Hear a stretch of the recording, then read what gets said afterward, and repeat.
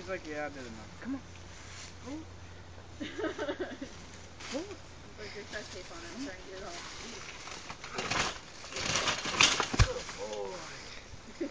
Ah, I wasn't done yet. Good boy. Yeah, good boy. So much for your rope, Chris. That's a good rope though.